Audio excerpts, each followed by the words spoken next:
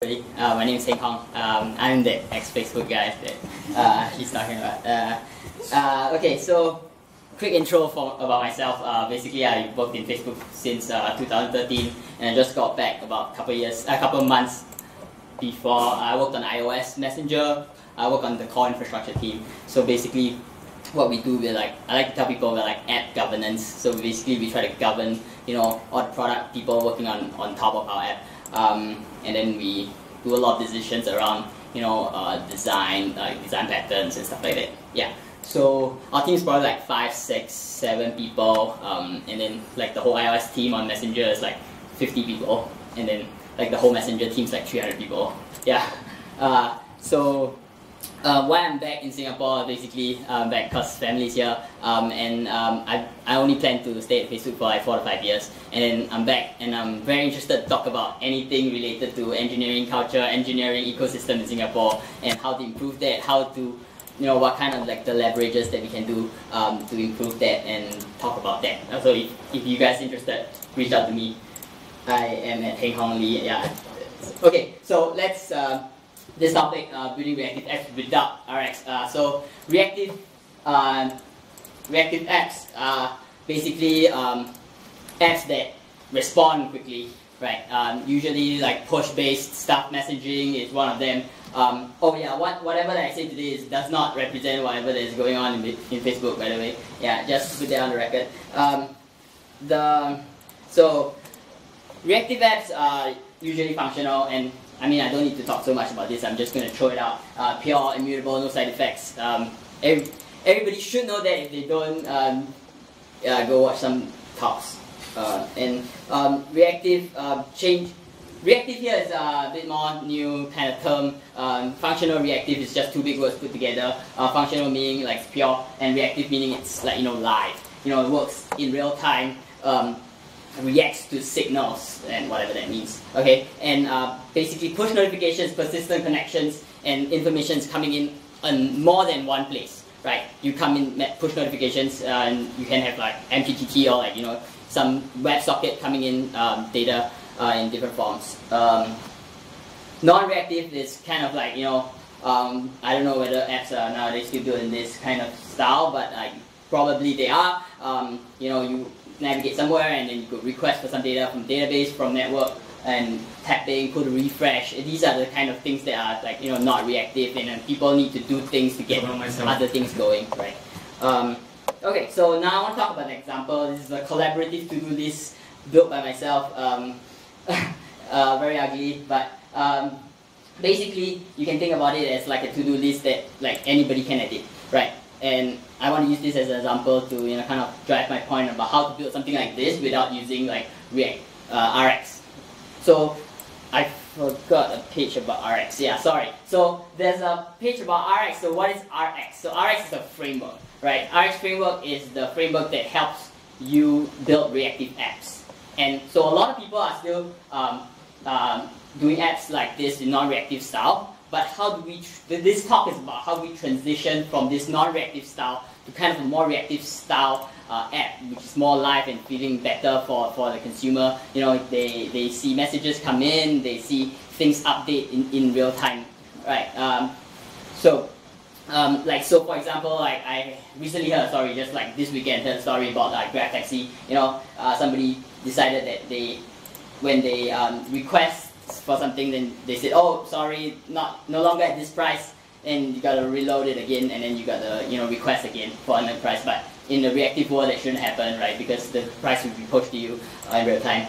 Okay. Um, so, right. So this collaborative to-do list, um, essentially, this is. Um, a to-do list. Uh, I forgot to put the numbers. So now the, the, the HH and stuff, like they are all names um, of people who last edited the, the, the to-do list, okay? And so this to-do list has a view model, right?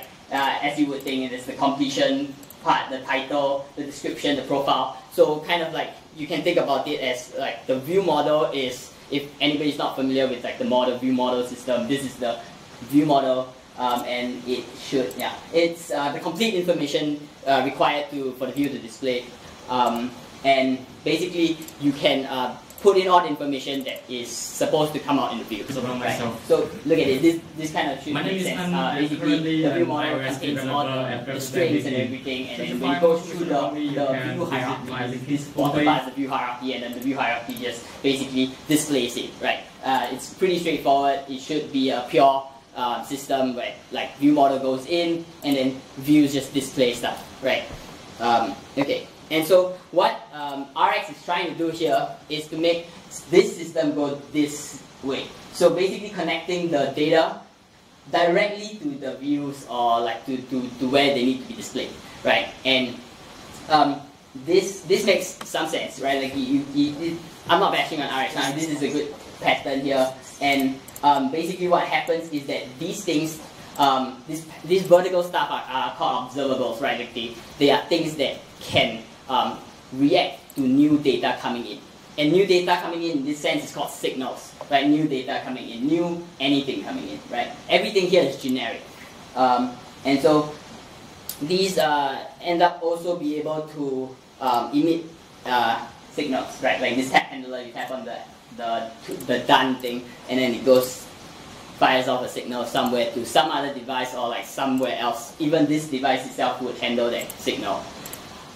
And so one signal could have multiple um, observables. So basically, uh, the pipe can get quite complicated, right? When uh, multiple signals come in and each one of them could affect different things. So for example, like I said, uh, the, um, uh, the, the name is the last guy who edited it. So when you hit the cross, you also need to change that profile name on the right side.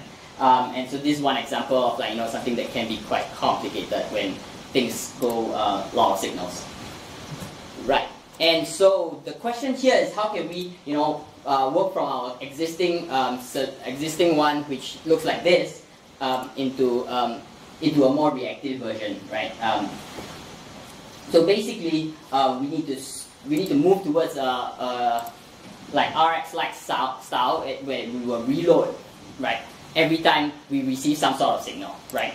That um, I mean in the easiest way in, in instead of reacting um, let's say um, instead of reacting every single observable has a potential signal to respond to or like it would respond to a few signals at once right we want to be able to um, have the real timeness of a system like this but not the development complexity uh, involved uh, in this, right? So that's what I mean by like, and, and we gotta make it incremental so that we can keep building, we can keep shipping, right? We can, um, instead of jumping right in to rewrite our code, like right, I wrote it right there, um, to rewrite our code in RX. Uh, okay, so from here, I mean, um, we, okay, so we need to first, uh, we want to first, the, the, the simplest way to do it is to reload everything when we get any kind of signal, right? That this page is, or, or we want to aggregate that by page, right? We, we generate the view model, we regenerate the view model all the time. It's kind of like a React style, right? Um, so you think about it, uh, so we want to scope the signals, we want to group them up, they are the same logical unit, the same page, we group them up, and as long as, so why this makes sense is because um, as long as we have good caching on some of the data layer, the whole data layer, we can always request and get something re relatively cheap, right? If, if it was expensive, it would have been cached on the memory side. It was go to network, it would have been cached on the data side, right? So you think about it as uh, reload data by table view or UI collection view, right? You call reload data every time you get uh, something uh, that might have changed. Um, and, and might have changed in this sense, like the Git example here says, oh, when somebody says, oh yeah, I changed something, and then you just pull, right? You don't care about like what it was. I mean, you can handle what exactly it was that changed, but that would be more complicated and more work for you to do. So here we want to do it such that we, we do as little work as possible and try to achieve you know reactive at, while at the same time we need to consider all the um, trade-offs that we're taking, right? So in this case trade-offs we are we're taking um, the some uh, performance trade-off, right? Because but if we have good caching we kind of like uh, make that problem not so bad. Right. So um, there's some um, data layer improvements that you can do like in the future. Like in the beginning, you would do like a reload data style, like just reload data all the time, and then um, you eventually the next step to move into some of the um, more recent, more popular uh, systems where like GraphQL subscriptions and like Realm uh, that basically have a sync database for you and they, you know, they are the ones that feeding you the changes and they will help you optimize for that. This is at the data layer. So then you get problems at the view layer, right? Because your view model keeps get regenerated and all the view models get pushed down to the to the views and like you keep having to you know hydrate the views like like they say in React, but like basically uh, set set the views with, with your view model, right? Right. So the easiest way, we don't check anything. We just put it in, call set needs layout after that, and then you know it might be unnecessary reloading and it might be on the main track. Yes, there's a lot of work that can be done, but um, this is one of the steps. We know all the we know all the trade-offs that we're taking, and yes. So and then the next thing that we can do, the next improvement that we can do is to check the quality of the view model, right? Because you think about the, I wrote the next page, the virtual DOM. Yeah, so think about like virtual DOM, uh, DOM, virtual DOM diffing. Like it's the same view model is a hierarchy that you can diff to make sure that you know which exact part of the view is changing and you kind of like um, call reload data or like set needs layout on that particular cell. I mean, um, of course, the improvements that we have here um, that go on top of that is like ComponentKit, uh, which is not in Swift. It's Vue Swift, which I've never used myself because Facebook doesn't work in Swift. Um, but the idea is that we want to have a system that can manage the views for us by we telling them, okay, now it looks like this. Then later we say that, oh, it looks the same, but then you know we have to have the system uh, ignore us and says, oh yeah, it didn't change, so I don't need to do anything, right? Um, and this is what these kind of components, uh, these kind of frameworks do. I mean, they do a lot, a lot more stuff than, than that, but um, this is the, the part that we need from them. Yeah, and that's it. Okay. that was fast. Okay, so um, yeah, now we go into the questions. Uh, so basically, uh, a little bit of a conclusion uh, for this. Uh, basically, uh, I think like it's good that more like more people should move towards you know doing reactive apps because it's um it's the new way to do things and we, we shouldn't have people keeping keep reloading data for new data and a lot of the technologies are improving um, to push us data instead of having to um, us to keep pulling for data. And so um, when we gather all the signals, you know, we need to reload quickly and like, you know, get um, the user the fastest, uh, most reactive app possible, yeah. Okay, questions, thank you.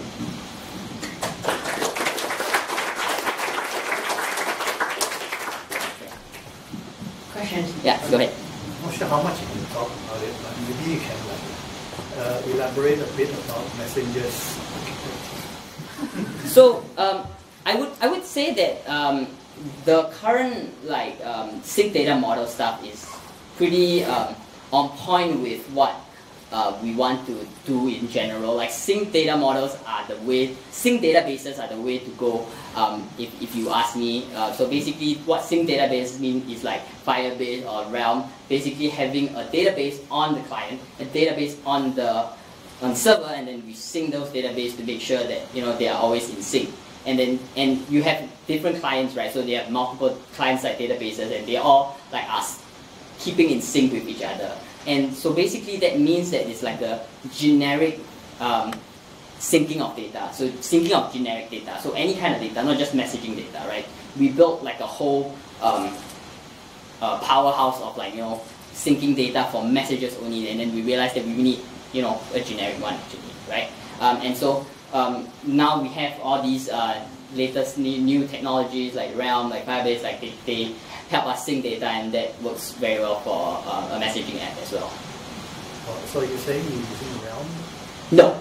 No, right? No, but I mean everything in Facebook is built in-house. Okay. So I would say that the trends are going that way, but uh, we don't, yeah, we, I mean we you, you can you can see that we don't use almost anything that is outside. Like like there's very little that that uh, code that we use that is not internally to Facebook. Yeah. What's what's a database? Like the uh, is in what do you mean? What's, what's the database that like the messenger is alternative Firebase they're using? Oh, we're using our own one. What yeah. do you mean own one? yeah, it's not open source. Uh, well, I can tell you what it is, but like I, I mean, it, it, it wouldn't make sense to you because it's not open source and there's no articles Also, written the about it. the database is all purely custom. Yeah, yeah, yeah, Okay. yeah. But it's similar architecture as Firebase. or- Well, I wouldn't know about that because I'm not sure about Firebase, but it's very similar to Realm. Yeah, similar in concept. Yes. So I assume it's uh, like uh, it's also supported with uh, GraphQL.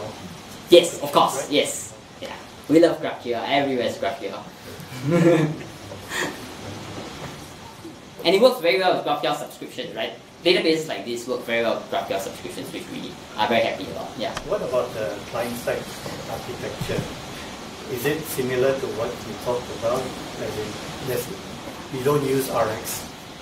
No, we don't use RX. No, yes. But I mean, I do see the value in it, right? If, if I were a small app, maybe I'll try, right? Like I, there, there are very good upsides of using RX, right? You, it's just that the complexity growth might be a bit hard to handle,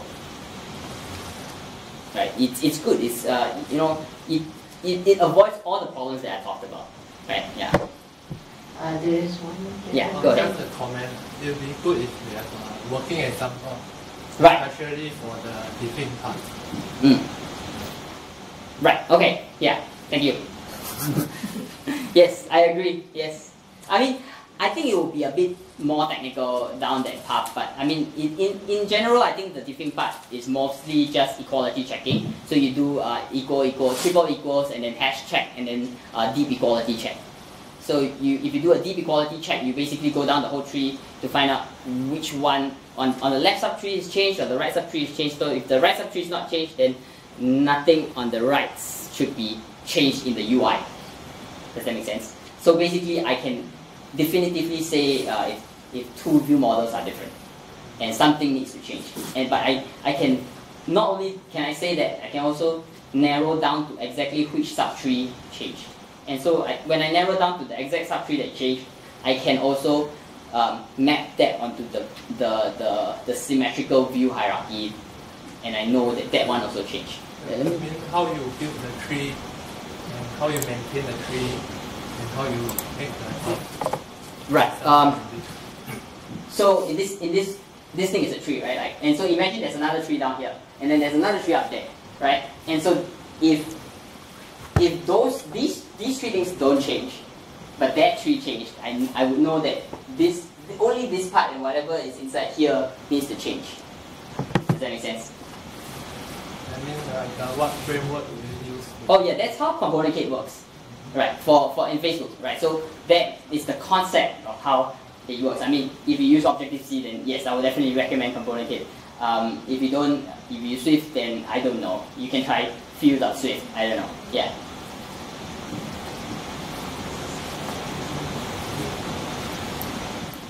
Any other Oh. question? Uh, isn't like uh, by creating your own framework rather than just use uh, existing framework like RX table view data source, which all which also does the editing part. RX table view data source. Yes, correct. Yes, it does.